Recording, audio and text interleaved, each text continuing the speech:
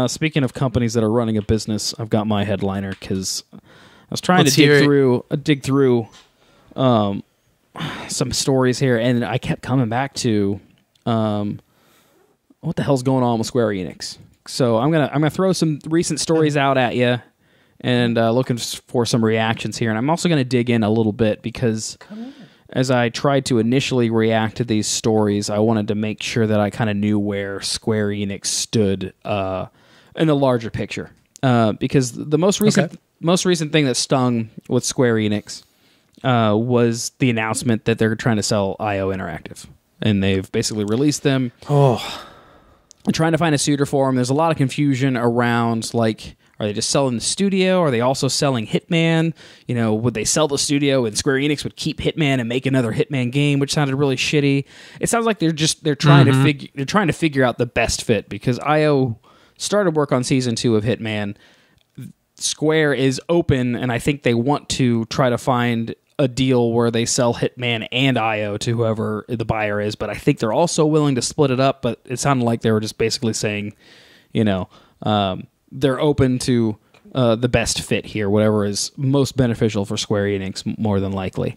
So that's been the the, the kind of the recent story that is a bummer because uh, Hit, Hitman was not the financial success that Square Enix wanted, which you know reminded me of their Tomb Raider stories of it not selling the millions of copies it wanted, even though it sold millions of copies.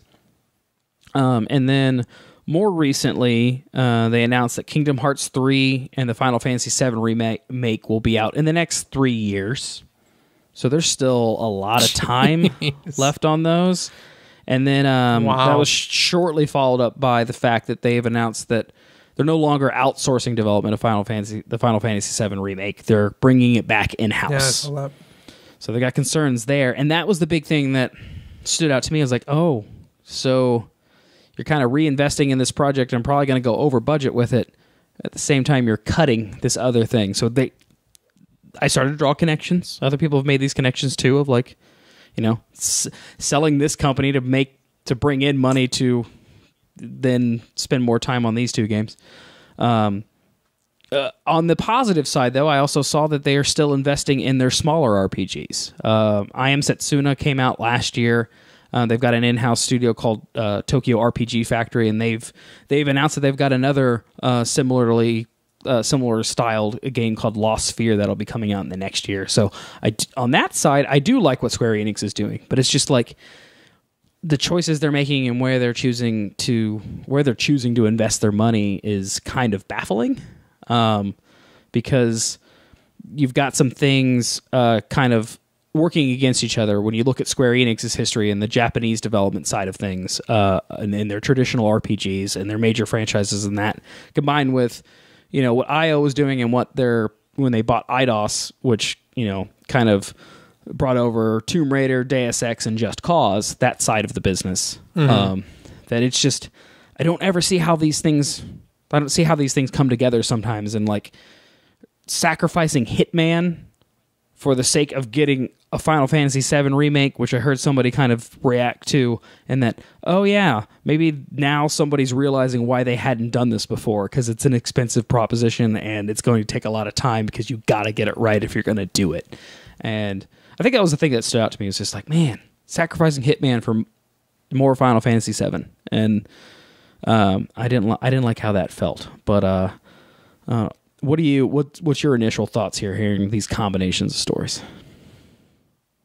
Well, I think the thing that you have to keep in mind, and we talked about this when we talked about IO getting getting released, um, is that even though critically and definitely among our site, the the Hitman episodic uh, game was well received, it did not sell very well. Sure. It made substantially less money than Absolution did, even though it was substantially a better game than Absolution was. Um, which is which is really unfortunate because it really is a fun game and it's really great. Um, but I think I think Square Enix is just looking at this, you know, as a numbers thing. They make Yeah. so much money off the Final Fantasy franchise right now. Um, you know, and and that's spread across a couple of different games and and different initiatives that they have going on with that. Um, you know that a Final Fantasy VII remake, if done properly, will be hugely successful. It could blow up in their face. That's entirely possible. But I think them moving it in house and them taking control of it is them saying, we can't afford to have this blow up in our faces. So Sure. we're going to make sure that it's actually done right. Um, which I'm happy to hear of because, man, I really, really like that game. And so, um, you know, I'd love to. I'd love to see a great remake of that game. Um, like if you just made Final Fantasy VII and Final Fantasy 15's engine, like that would be awesome. Sure. I love that. So it's tough because I've always felt like Square Enix is kind of cagey. Like like they've always just kind of done things in a way um it's not even Nintendo like sometimes it feels like they're almost like vindictive sometimes with the decisions that they make and like they're hostile sometimes to their fans and you know it's it's just it's a weird relationship like they've made m- like milestone games that I've played in my life, you know, under under the different banners. But Sure. um so I have like a very like tight relationship with that company because like a Just- lot of games that I hold up as the best RPGs I've ever played were made under their umbrella, but like at the same time I'm just like It's hard to trust them. I don't I don't understand. I don't understand how you work. Yeah, it's just uh, looking at some of these things, and yes, the Final Fantasy franchise makes them a lot of money, but they also spend a lot of money developing it, and like, Sure. um, and make some bad decisions along the way that you know, sacrificing some of these other, you know, these other things that I enjoy as a fan. Uh, it's just frustrating to see Yeah. because you know, it, if Hitman was uh, wasn't a success, and uh, I, you know, I've seen the numbers, and yeah, there, there's definitely a case there, but it's just like, okay, you know, how well did Deus Ex do last year, and how well did Just Cause do before that? And I know Tomb Raider was in their sights. It's kind of like, so how far are we off of these games? Kind of uh, being killed off. Like what's what's next? And at the same time, I feel like um, those those franchises actually kind of kept Square Enix uh, a little bit afloat in the Final Fantasy 13 years when they were just burning through money there. Like I'm, I'm assuming that money that game ended up making money in the end by uh, you know having basically three releases in the same engine and reusing those assets to make more games. Um, and the decisions that came into play there. But like, it really felt like for a while that Eidos was carrying Square Enix before. I feel like you've gotten some good Dragon Warrior releases. Final Fantasy 15 did really well. Uh, Final Fantasy 14, uh, yeah, that's another point. Final Fantasy 14 was a mess at launch. It was god awful. It was critically hated and you had these other games that the like the Eidos uh, developed games that were kind of keeping them positive and it, uh, afloat while they reorganized around 14. But it's just kind of like, um, you know, do we need the amount like like you said?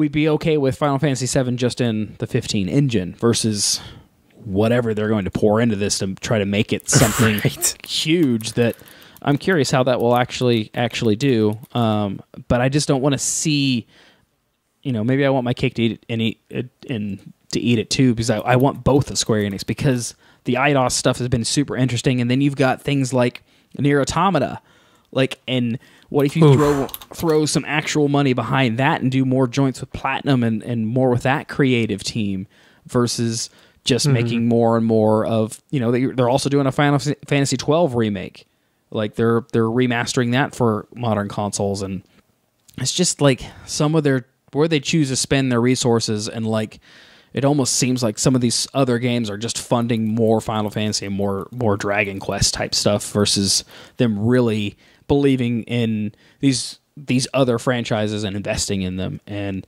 um it like I said it's hard to trust them that they're not going to kill something that I actually like like Tomb Raider and and Just Cause and and you know Deus Ex, and even you know Life is Strange too did get a Life is Strange got a, a sequel announcement recently as well, but um, they're just a very very curious company. I, I Yeah, I- I think. go ahead. Go ahead. No, go ahead. I, was, I like that you called out that they're they almost kind of come across as hostile to their fans, and I think that's the I I don't think they intend it that way. I think that's just a different side of you know what we call when we call out Nintendo for um, how they communicate, but and it's just a difference in, in how Japanese companies do business compared to what we're used to here in the West. Uh, but it does come across as much more hostile and un, and to see good creative ideas and great games kind of be sacrificed for you know more sequels and more of the same of you know franchises that we do hold near and dear like there's there's i just think there's got to be another way with uh, the the franchises that they control Yeah. So I I just did some quick quick look up of some numbers because I was really curious. Okay. Um. So, uh, Mankind Divided sold around six hundred thousand copies. Um, Really? Globally, which is Really? really bad. that might be so so that's not good. is Uh, that less than hitman because hitman's around the 600k range too I think Hitman got up to eight. I think So I think Hitman actually did better. So and deus ex probably costs is, more money i'm guessing Yeah, Deus Ex is in trouble. Just Cause Three did a million globally. how just Uh, cause these 2 are all according to VGChartz. okay Uh, I didn't look up that one, but uh, Final Fantasy 15 did 4.63 million uh, globally. So, and then uh, Nier did. Well, it's still early, but uh, how's that doing globally they're at 630. Okay. I thought they hit the million mark though. I thought I I, remember that just saw too. recently they hit a million units. if they patch the game they so, might. yeah. oh my gosh. has nothing to do so with Square Enix, actually. unbelievable. Unbelievable. Actually, no, I take it back. Ooh, that might change my numbers. That was Deus Ex was for PlayStation 4 only. Oh, so okay, okay. That did seem because it came out. because I remember, I remember, I want to say original Tomb Raider, or the remake was that wasn't so Rise of the Tomb Raider was the second one. Tomb original Tomb Raider remake sold like four million, but they wanted like six to ten million, yeah, they wanted so it was a disappointment. ridiculous. And I'm sure So, Deus Ex has to be similar. Globally, in- it was about a million for Deus Ex. okay, um yeah I, I i'm i'm I, i'm with you like i think the thing for me with square enix is that i wish they were willing to like they're making all of this money from these big huge tentpole titles i takes- wish that they would put more support behind the lower stuff Mm-hmm. and like being willing to like take risks on that stuff than than what it feels like they're willing to do. Because it's like when you send that message of you know like when you say for a reboot of Tomb Raider which had no business doing well at all and was phenomenal like was uh-huh. just such a fantastic game you know when you say well we we wish it would have done better. Like we wish it would have sold like they so globally they did 6.6 million in sales. We wish they did 10 Right. it's like what the hell guys like come on like that's an amazing achievement like like can you just gush about that a little bit so that we can all feel like you like video games and that this isn't just like the side hustle that you're doing and that you really care about something else like yeah. I just don't I don't understand them sometimes and Convince me that you're not the that they next. were I wish that they would have said Yeah.